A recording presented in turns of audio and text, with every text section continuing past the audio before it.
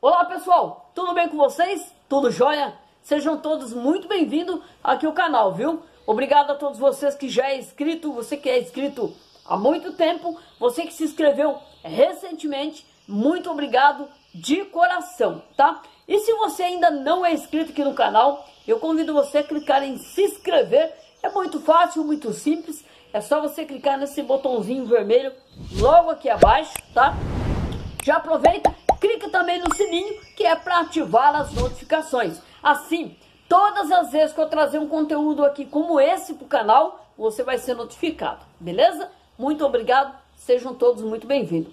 No vídeo de hoje, eu vou estar falando com vocês sobre o excesso de umidade dentro do, dentro do canaril, tá? Vocês veem que na minha região aqui, pessoal, tá chovendo muito. Tem mais de duas semanas chovendo e chovendo bastante, né?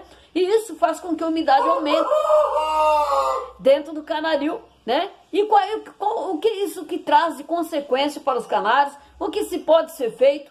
Tudo isso, pessoal, nós vamos estar falando nesse vídeo. E vocês já sabem, é meu convidado especial.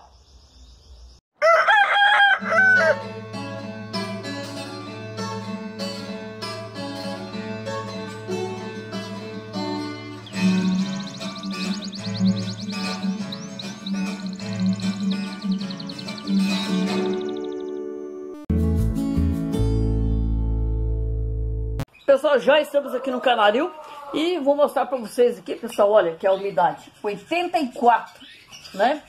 84. Pessoal, a umidade ideal para dentro do Canaril é entre 50 a, a 60, vamos supor, entendeu? 50 até 70 ainda é tolerável. Mas olha aqui tá muito alta a umidade, né? E o que que isso favorece, pessoal? Favorece o quê? A criação de fungo, né? A proliferação de bactérias, beleza? Tudo isso.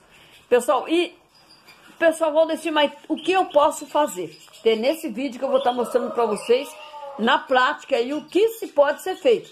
Uma das coisas, pessoal, a primeira coisa que que pessoal que que vai afetar é a alimentação, tá? Alimenta, por quê, pessoal? Ó, todos nós sabemos aí que a alimentação, ela vem na embalagem dela original, né? Ela vem na embalagem original. E o que, que a gente faz? A gente abre a embalagem e coloca no tapoer, né? Não dá para ficar na mesma embalagem, né? Então, o que acontece? A, minhas, a minhas, minha, minha alimentação nos meus canários, né?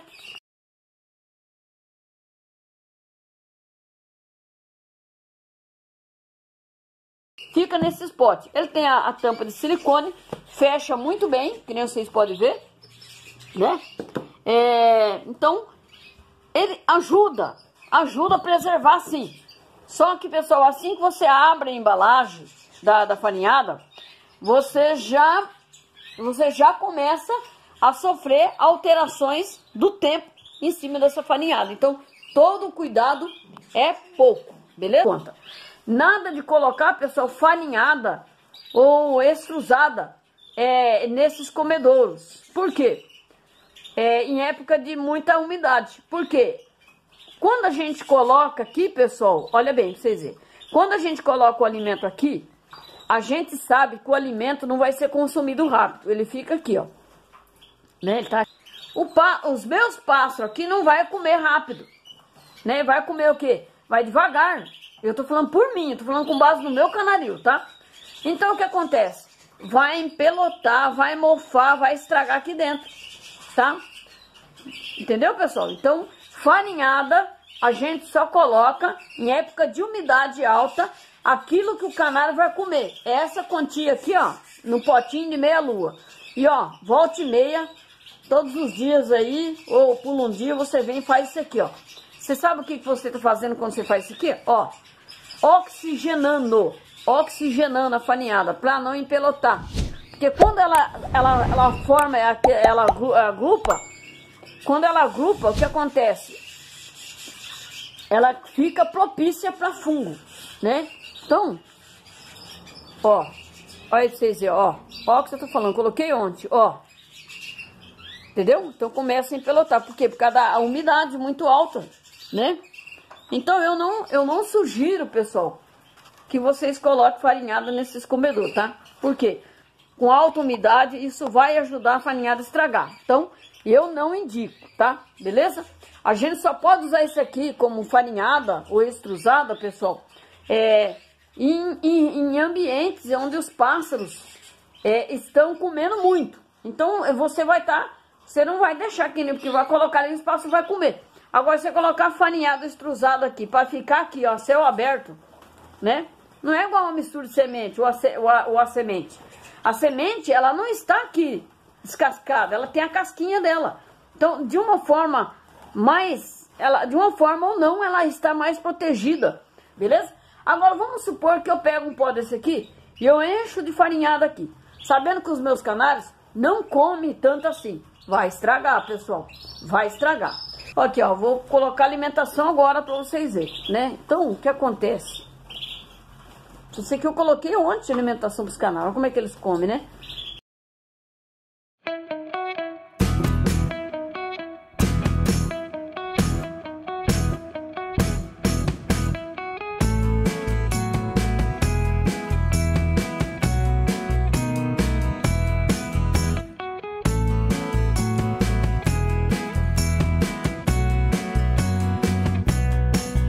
Vou mostrar outro lado lá.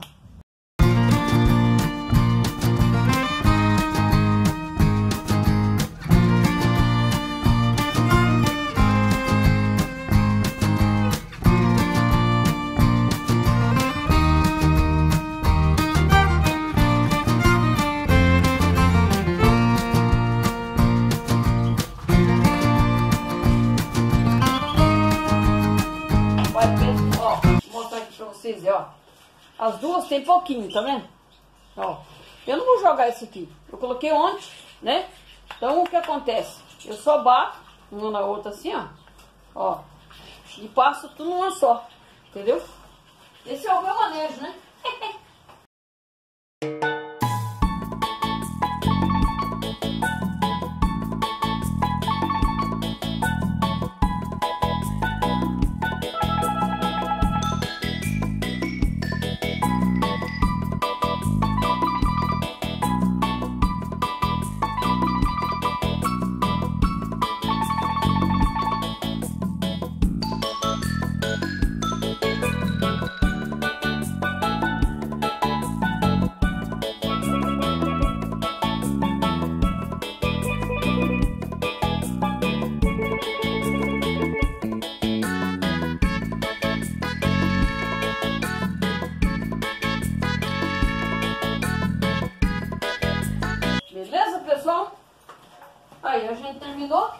dar alimento eles.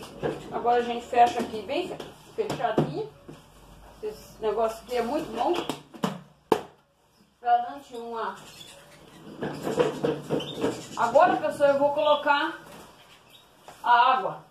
Papai me perguntou se você troca água cada dois, três dias. Não, eu só troco água, pessoal, quando tá assim, ó. Vou mostrar pra vocês. Ó, quando tá com pouca água assim, aí eu já troco. Dá para 3, 4 dias, pessoal, a água dos canários aqui. Eles passam semana aí. Uma garrafinha d'água dessa é boa demais, hein? Vocês têm que ter no canário dos seis aí, viu? Eles não vão se arrepender não, hein?